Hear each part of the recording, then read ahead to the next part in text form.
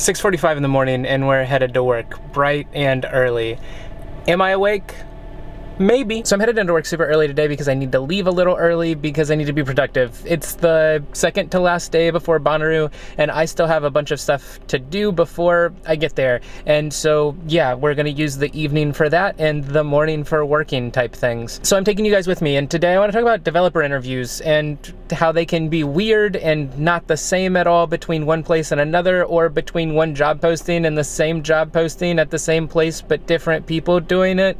I don't know. And then at the end, uh, this is a tease. At the end, I'm going to share something with you that I think is super, super interesting and you should all absolutely check out. So yeah, make sure you stick around until the end.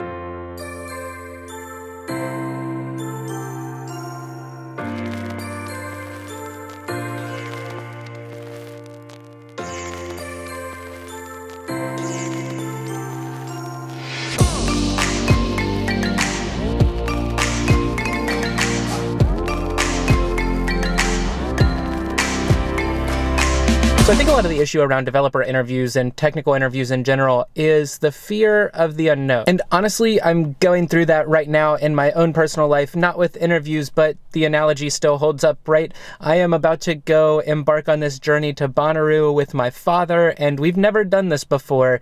And I have a lot of worries about it because do I have the right stuff? How are we going to make it happen? All of these things. And that is totally valid. I totally get where people are coming from from when it comes to this. And if you wouldn't mind, let me take a pause right here and down in the comments, have you guys been on an interview yet?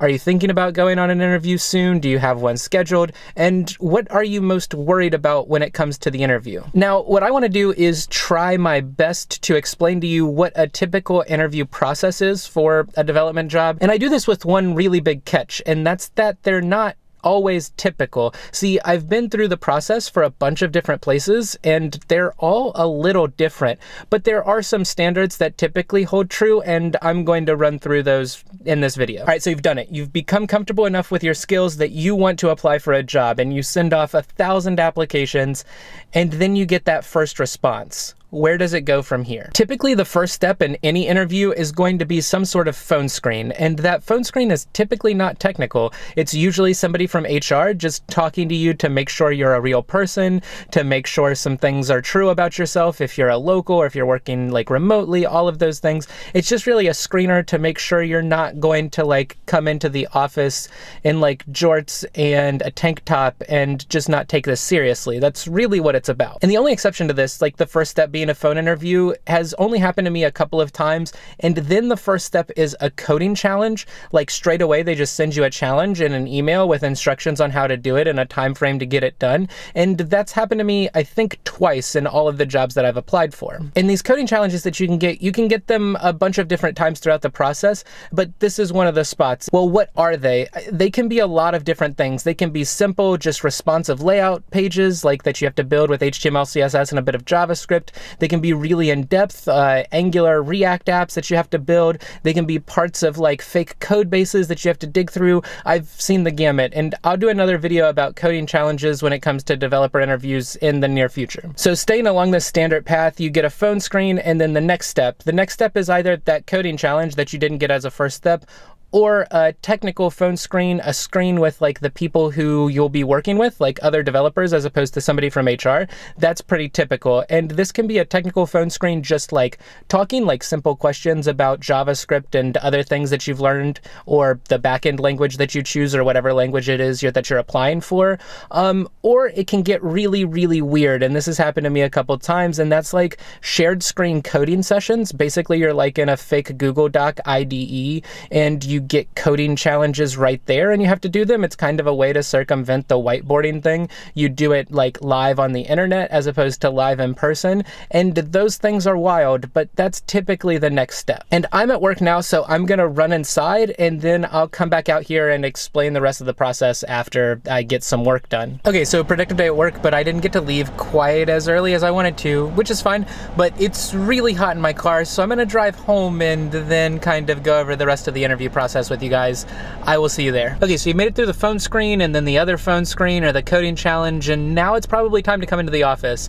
And when you go into the office for an interview, they can be really, really different depending upon what kind of place you're working for and how they interview, just like every other step in this process. So, I mean, you could be in a panel interview with a bunch of other developers or the possible team that you're with. I used to work at a place where they would do like a panel like discussion session where you would present something and then talk about it and be asked questions. There can be whiteboarding involved here, pseudo coding. I was in an interview once where they gave me a piece of paper that had some code on it and I was supposed to find bugs in the code. This really ranges, but this is going to probably be the most technical aspect of the interview. Even if there's not whiteboarding, they're going to ask you probably some logical questions, things that you've built, why you made decisions, possibly review your GitHub or projects that you've put on your portfolio, and ask questions about those. And this is really the most intimidating part. They can last a long time, like three or four or five or six hours. Um, and you can be talking to like two to four to six people or more.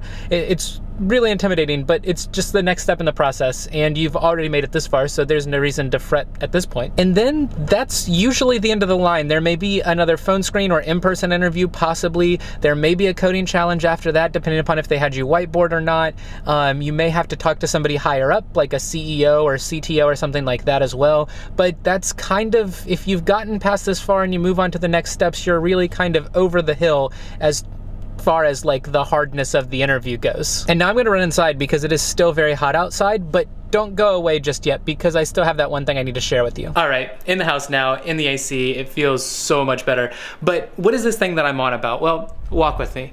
So, there's this guy, his name's Joshua. He does YouTube videos too. See, he's a developer. He also has a degree in like mechanical engineering and he went to a coding boot camp, I'm pretty sure.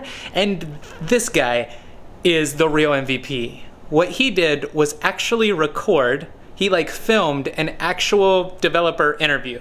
And not just one, but two. So you should really check that video out. I'm gonna link it down in the description below. But if you're wondering what developer interviews are like, like seriously, you can go watch like a real one check it out. Check the link in the description. All right, and that is all I'm gonna have for you today. This week is going to be wonky, and so is next week as far as like upload schedule goes. I'm gonna try to put a video out both weeks, like this one this week and then one next week. And as far as live streams go, I'm gonna try to do a live stream on Wednesday, but I'll be driving as well. I might be stuck in a line, so I might be able to do it from there with my dad. We'll see what happens. And then next week, probably no live stream, but I'll keep you updated. Anyways, if you like this video, hit that like button because they are super awesome and they make me smile. If you guys have any questions, leave them down in the comments below. Go to Josh's channel, show him some love, hit that subscribe button. If you haven't on my videos, hit the subscribe button as well because that would be super cool. I hope you guys have a wonderful rest of your day. I will see you again very soon.